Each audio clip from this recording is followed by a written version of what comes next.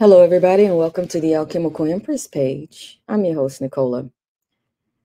I think that it was Charles Dickens that told us it was the best of times, it was the worst of times, it was the age of wisdom, it was the age of foolishness, it was the epoch of belief, it was the epoch of incredulity, it was the season of light, it was the season of darkness.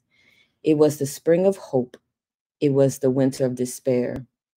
As we move into this new dispensation, we're going to notice that it is truly the best of times and it is the worst of time, depending on how you played your cards in your life and what karma you have being played out in this new dispensation there are many, many people talking about many different things concerning what's about to come with this eclipse, with all of this energy, the fact that they're opening up the CERN and a possibility of all of this, black swan events, all types of things are being talked about online. Everybody has a spiritual word, everybody has an insight about what is about to happen. And you know what? Depending on where you fall in all of this, any of those things could be true. I just wanted to come back and reiterate to those who have played their cards close to the vest when it comes to um, doing the right thing, even when they weren't seen, even when you didn't get the credit, even when it was hard. Uh, the best of times are coming for you the karma that is good is, is coming to meet you. The things that you've placed in as good seed will begin to flourish for you. Those of you who felt that it was easier to go the wrong route, to do the wrong thing, to go spaces and places where you've not done what was right, you'll feel that too. Um, and and it is not about pointing a finger of right and wrong. This is what I have been seeing along this whole fallout of judgment that's happening at this particular time. We have a world that's under judgment right now because of the dispensation of time we're in, where for a moment things were allowed to run rampant. Patriarchal uh, uh, powers that went out of control were allowed to do whatever they did for quite some time, right? Uh, things that were moving in the spaces where it looks like wrong was being compensated and right was being um, spat upon those moments are beginning to shift and you begin to see that that karma is about to start to take place, whether it's on the good side or the bad side. So if you've been sowing good seed, I don't think you have a whole lot to worry about because the the goodness that you have been sowing, it's coming to pass. There are people out there that are sowing seeds that they know is wrong, but they feel like it's easier to be on the side where it looks like the winning side right? So you could be in a corporation and you know they're doing wrong by people. You know they're hurting and harming children. You know that they're hurting and harming humanity. You know that they're hurting and harming the planet. But it just seems like there's no other way to go except to keep doing wrong with that particular corporation or situation or circumstance. Well, you'll begin to reap that karma with them if you took a hard stand and you had to suffer for it, and I know a lot of people who did this, some people who saw that situation roll out in 2020 and they left their jobs because of it and they suffered because of it and they had to take some hits and some losses because of it, you're about to see your blessings come forward. These moments are being uh, rolled out where the karma is coming a lot faster right now. About a year or so ago, I was saying make sure you're on the right side of karma. Do the best you can to clean your side of the street. Do the best that you can to do right by people, even when it's hard. Do the right thing by the planet. Do the right thing by human humanity. Do the right thing by children. Because when you're doing that, even when it's not popular, even when you don't looking, you're not looking like you're getting a payout in need in, initially, that time is coming where that karma will be met and you will see the flourishing of your gifts on the other side of this. But there's some people who thought they have been getting away with wrong for a very, very long time. They thought they were on top of the world and that they were untouchable because they have been getting away with it for so long. And you're beginning to see that that is not the way to go. And it is rolling out and is exposing everything. The apocalypse is here to expose. The apocalypse are, is here to unveil. The apocalypse is letting you see what has been hidden this whole time. And that is rolling out and the karma therefore with it. So as we clean house, we have to unveil some things, clean out some things so that we can put things in right order. Uh, many people who call themselves light workers, they love to talk about the love and light aspect of being a love a, a, a light worker, and maybe that's their position but there are two sides to this coin. In order to make things right, sometimes you have to uh, expose and clean out the dirt. You know, it, it, would be the equivalent of you want to set up house and the house has not been cleaned it's dusty, it's dirty, but you want to put nice furniture over it. You want to make it look pretty. You want to make sure that you put nice new things in it. No, the house needs to be cleansed first you need to sweep it out. You need to, you know, disinfect if it's been sitting for a long. You might need to take some things out of that space before you put some new stuff in that space. And that's what's happening with the planet right now. There are some things that people have been getting away with for centuries upon centuries at a time. And mama is here to clean up some things. She has been awakening her daughters on the planet You've been seeing the mother element awaken on the planet like never before. And she's coming to make house right, which means that there are some things that's going to be cleansed, it's going to be cleaned out, it's going to be exposed because you can't you can't clean out what you don't see. So you got to expose it so you can clean it, right? There's some things on the planet that's been wrong for a very long time. And it's been wrong for so long that people begin to believe that wrong is right and that right is wrong. For instance, I remember back in my deep naivete early in my 20s, I mean, even maybe sometimes in my 30s, I have been, you know, so naive at points in my life where I really used to take people at their word, right? If they told me something, I believed them. And so when I got burned, people would look at me like, why are you so stupid?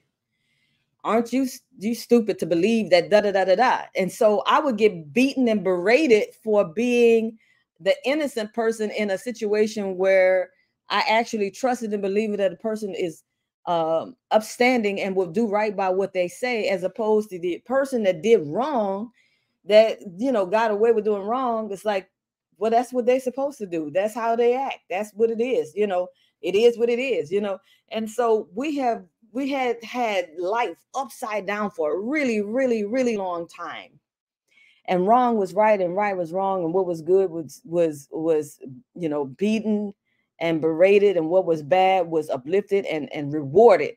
Look how many shows that's been out there on uh, uh, social media and even television where the worst of us the worst acts against humanity the just the worst of everything is the stuff that gets rewarded is the stuff where people you know get rewards for it.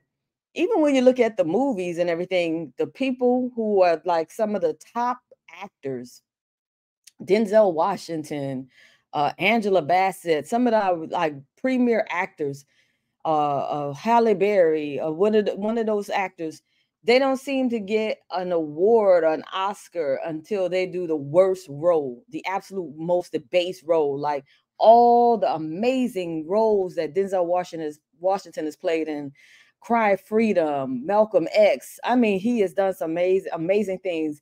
He never got an Oscar for that. But let him do training day, and all of a sudden it's Oscar worthy, you know. And so stuff, it's been stuff like that that we have been got we have gotten used to for so long. Like this is the way to go. This is the way we're supposed to operate for so long. And, and then you don't see that no, we've been upside down. Right is not rewarded. Wrong is always highly rewarded.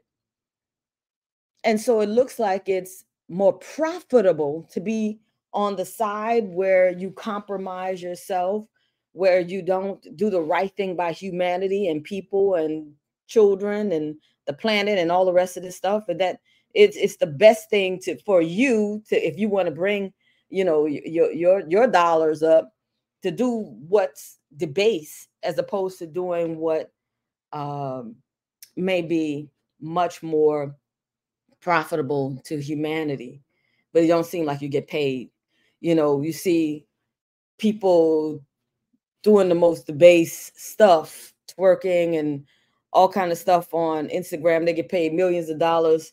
Or uh, Dylann Roof, for instance, you know, with his and antics and craziness with the trans situation. But yet you get a teacher, a, a social service person that's been working day in, day out, giving of their self tirelessly to try to help children and families. And they're getting paid pennies on the dollar for the type of work that they're doing, trying to help humanity. Uh, those are the things where we're about to see judgment rain out now, where those people who have been working silently in a cut about to make a come up, and those people who look like they were never ever going to be touched for doing wrong, well, you're going to see a fall out of that, and you're seeing it happen right now. But you're going to be seeing even more of the best of times for some of these people and the worst of times for some of these people. And so, for those of you who are going through a moment where you're going to be seeing a come up in your life, be careful of who was there and who wasn't there when you were in the heart of your struggle because everybody want to come in on the ride once you start moving upward. Now, when you're down and you're struggling, you can't find no help. But as soon as you start making movement, everybody want to jump on the elevator with you. No, you know, everybody don't get to go on this ride because you didn't you didn't pay the price to go on this ride. Some of us pay some heavy, heavy price to go on the elevation that we're about to go on. And everybody don't get to jump on our ride. Now, if you were around, you supported, you were there, you took care of things to help, to support, maybe you get to go on that ride. But for those who uh, uh, just want to jump on somebody else's elevator as they're moving forward and you weren't nowhere around when they were struggling, when they were going through, when they were giving of themselves and doing, you don't get to go on that ride. And for those of you who thought going the opposite direction, being the worst, doing the worst, acting the worst was the way to go because it paid you your dollars, you're about to feel that on a whole different level as well the best of times and the worst of times are about to get a lot stronger. So I have nothing to give you right now about the eclipse except the energy is extremely strong. There's an amazing cleansing that is happening on the planet. A lot of wrongs are being made right in this time span. And a lot of you who have done wrong can come into repentance and get yourself right. It just depends on how humble you are. Can you humble yourself and apologize to the people you mistreated along the way? Can you humble yourself and say you were wrong in some of the things that you've done? Can you humble yourself and let some things go that you used to use that was not beneficial to mankind? Can you humble yourself to do the right thing by people in this next dispensation? maybe you can kind of reverse some of that karma. But to the measuring degree of what you put out in this world is what you're about to get back. I hope that makes sense to some of you all because I don't know what to tell you about the eclipse and what's about to fall out. But I know that this world, and I've been saying it and I've been saying it, she's shaking up, she's waking up, and she is putting a lot of stuff under judgment right now. The feminine energy is awakened in a way that it has not in not been in a long time. And in the ways that the feminine energy has been mistreated and misused and abused on the planet, it's going to get rectified. And some people are going to be okay, and some people are not going to be okay with that.